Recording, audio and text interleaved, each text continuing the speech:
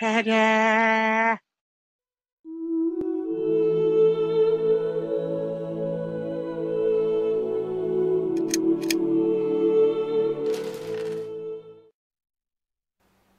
Hello gamers, Matthew here from Gray Army Gaming in southern Sweden.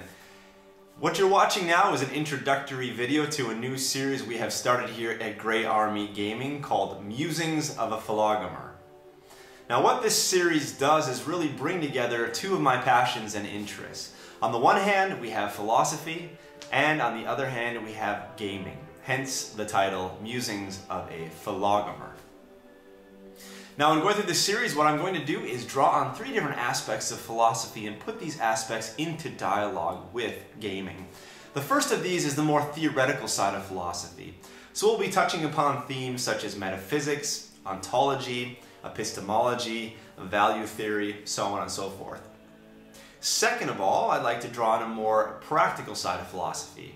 In this case, we'll be touching on themes such as ethics, moral philosophy, aesthetics. Uh, we'll be looking perhaps even at something like race theory, gender theory, political philosophy.